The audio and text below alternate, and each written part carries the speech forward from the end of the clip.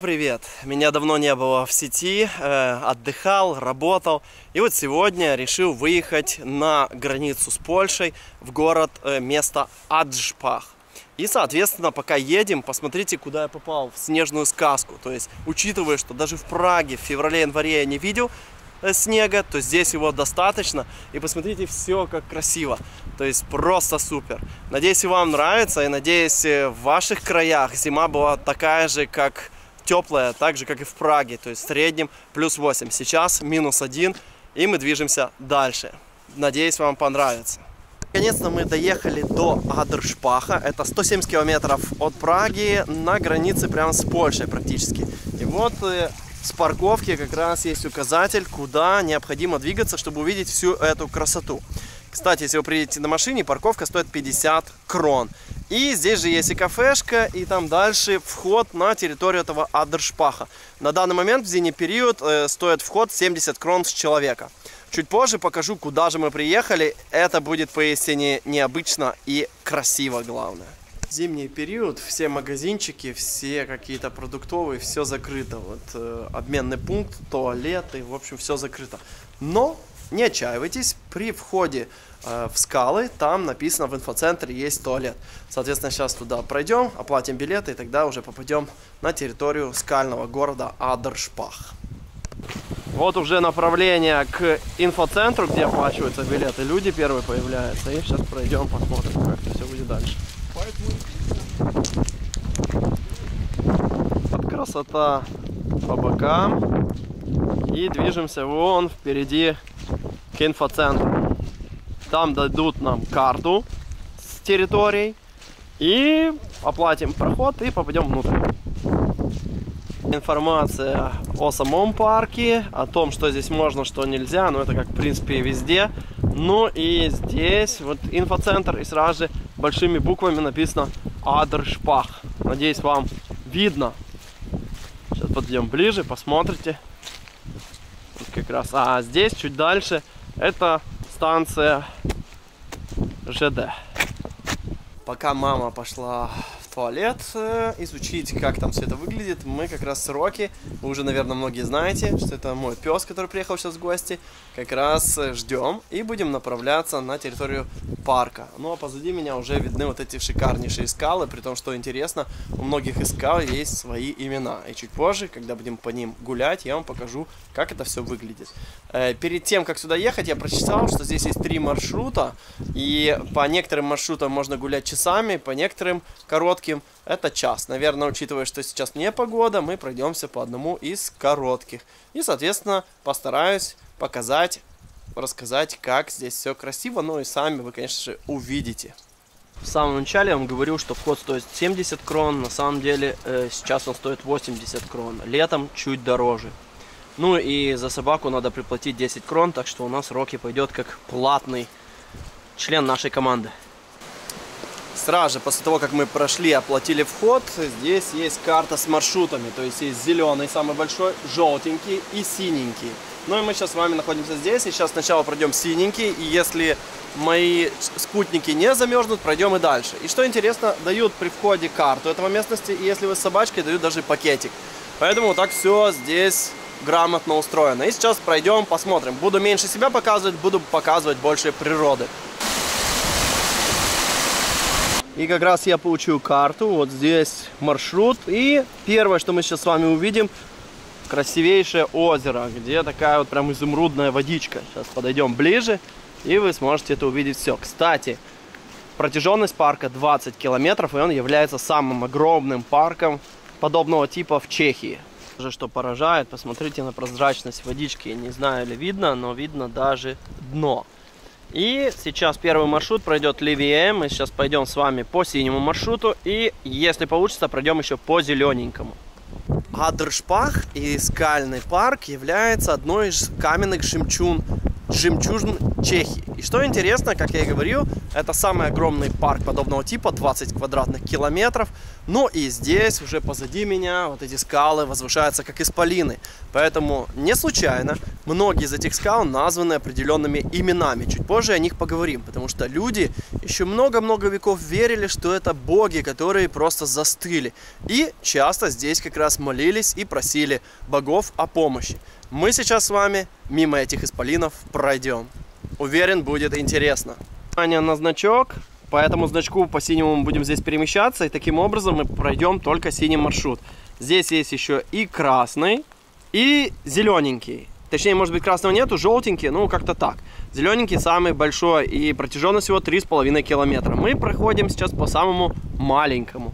И ведет этот маршрут вон туда, вот дальше, по этим лестницам на самый-самый верх. Видно, да? Пойдем сейчас туда. Э, мои спутники, моя мама и Рокки. Он вообще испуганный, замерзший и сидит, видите, прям в куртке. Гулять не хочет вообще. Рокки, может погуляешь чуть-чуть? Не, реакции никакой. Вот по этой опасной такой тропинке, потому что она подмерзла и снег под ногами, поднимаемся чуть-чуть выше. То есть это просто поразительно, что наконец-то в Чехии я увидел снег. Так же, как и по всей Центральной Европе, здесь было очень тепло.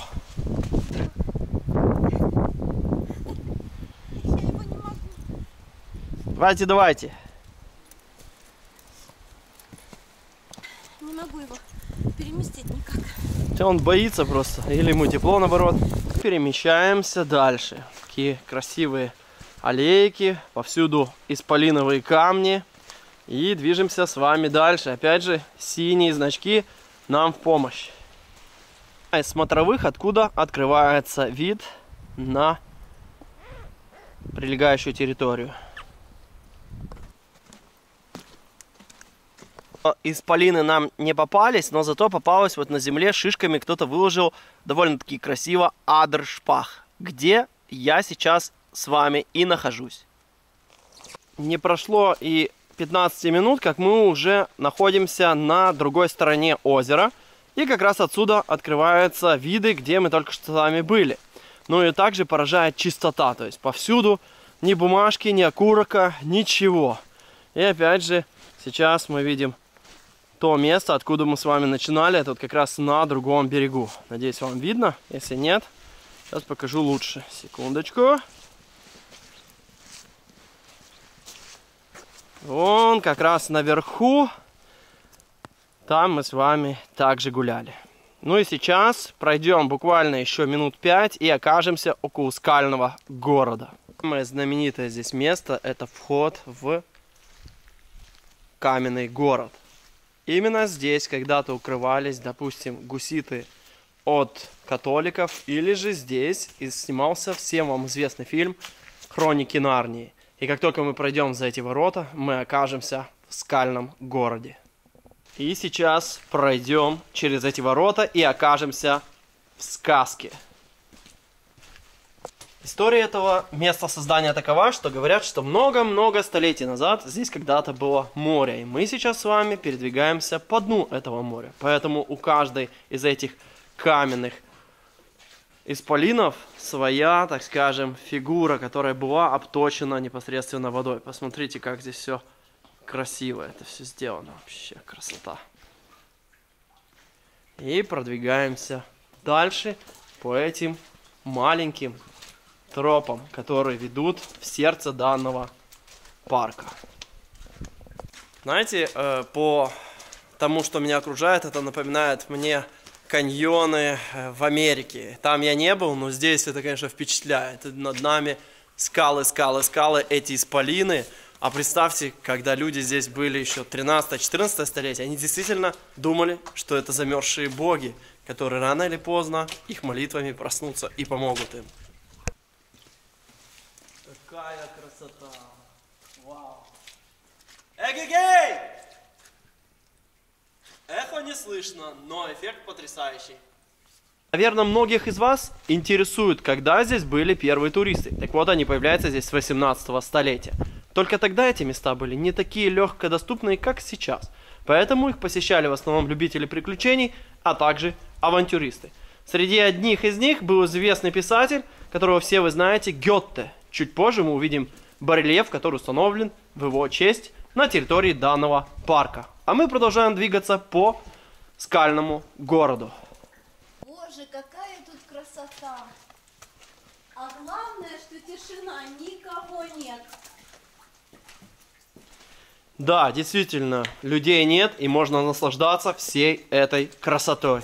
Вообще, по периметру никого. Одна лишь ска э, скальная красота. Обратите внимание, позади линия. Это уровень воды, который здесь был 23.06.1844 года. То есть, где я сейчас стою, я бы находился под водой. То есть, наводнения не щадят никого, даже скалы. И вот по периметру посмотрите, как тут красиво. Видите? Вообще шикарное место. Супер, просто супер. Как в любом туристическом месте, есть здесь и свое место, где можно загадывать желание. Обратите внимание, выемка, и там у нас мелочь можно увидеть. И сейчас мы тоже попробуем туда кинуть монетку. Ну, давай.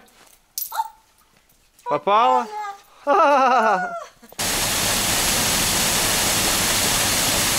красота!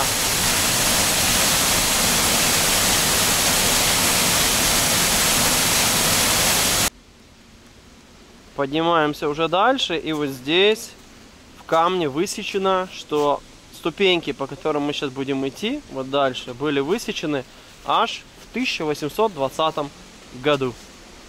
И вот туда выше, если видите. поднимаемся все выше и выше. Говорят, впереди будут шикарнейшие виды на скалы. Посмотрим, так ли это будет на самом деле. Продвигаемся все дальше и дальше по маршруту. Надеюсь, впереди увидим такие смотровые площадки, но так или иначе, эта дорога уже обратно. В целом маршрут занимает около часа, три с половиной километра. Если наверное, в летнее время чуть дольше, потому что все-таки больше людей. А сейчас здесь, конечно же, очень комфортно. Мы вышли вон оттуда. Здесь вот шикарнейшие виды. Вон, если видите, наверху такие вот скалы. Ну, а будем двигаться вот сюда. О, мало лестниц будет. А тут, ого-го, вон, посмотрите, впереди. Сейчас небольшой фитнес-тур. Вот здесь как раз отличный вид на две скалы, которые вот впереди, прямо перед нами, называются они Любовники. Видно, да, я надеюсь вам? А мы сейчас будем спускаться вон туда, ниже, по вот этой лесенке. И, друзья, буду с вами прощаться. Спасибо, что были со мной. Надеюсь, вам понравится это видео. Подписывайтесь, пишите комментарии, ставьте лайки и делитесь этим видео, чтобы больше людей узнало о Адершпахе. Пока!